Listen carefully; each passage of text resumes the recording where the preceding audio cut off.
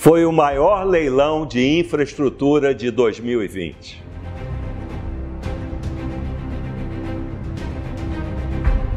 São 7,34 bilhões de reais de investimentos.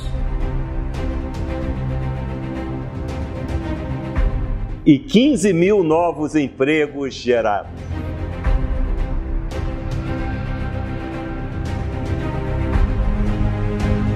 Aproximadamente 2 mil quilômetros de linha de transmissão e 6 mil megavolts amperes de potência que são agregados ao nosso sistema.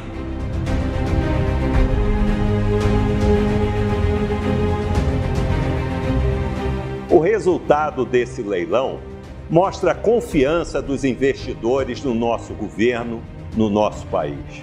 Mais do que nunca, é hora de gerar empregos e renda para a nossa população. Meus parabéns à ANEL pelo trabalho. O Brasil não pode parar.